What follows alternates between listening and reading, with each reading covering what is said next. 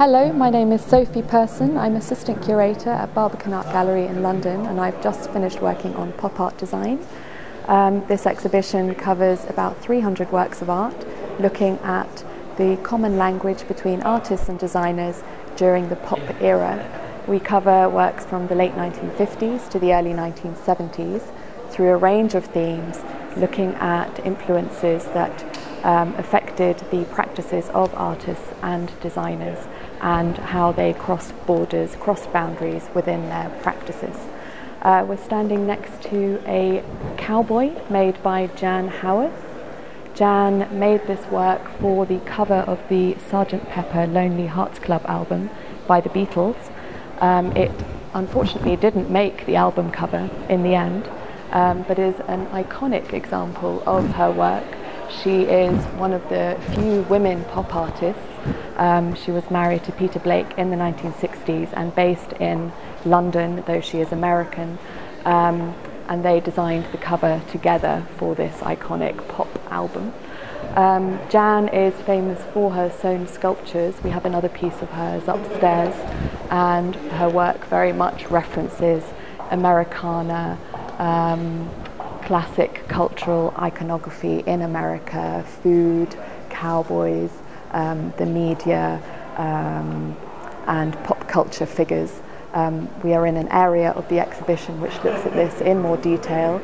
We have um, a beautiful work by uh, Andy Warhol called Four Marilyns, which references nicely next to the cowboy. We have a pair of silver boots by Clive Barker, who's a British artist.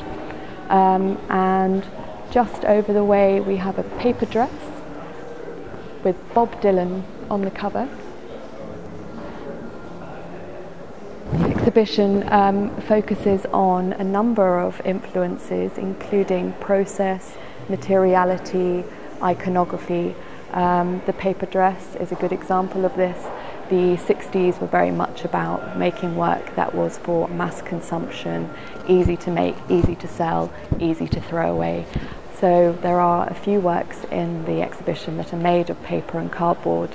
Um, obviously they're quite rare now, quite hard to find. Uh, the paper dress has Bob Dylan on it and wasn't in production for very long as Mr. Dylan objected to his face being shown in this way. But the point was that you would wear the dress have a fun time, and then put it on your wall as a poster.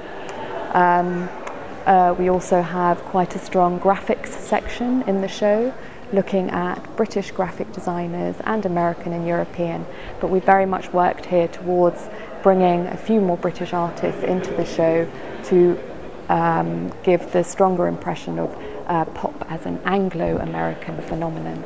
Um, we felt that was very important. We have work by Hapshash and the Coloured Coat, who were a graphic design duo um, in London in the late 1960s and made iconic work looking at um, um, psychedelic psychedelic evenings. Um, they made posters for nightclubs, for bands, and for pop stars.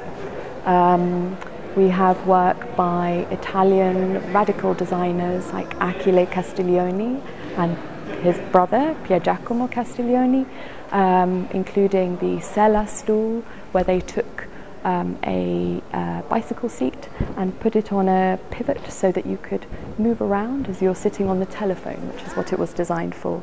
The Castiglioni brothers were very much about taking everyday items, everyday objects, and recreating them in their design work. Um, and that's a beautiful example of the um, boundary shifting between artists and designers, making work that you weren't sure whether it was an artwork or a design piece. Is it functional or is it not? And we have a number of pieces in the show that look at this. It's difficult to say how many artists or how many designers we have as there is quite a lot of shifting of borders between them.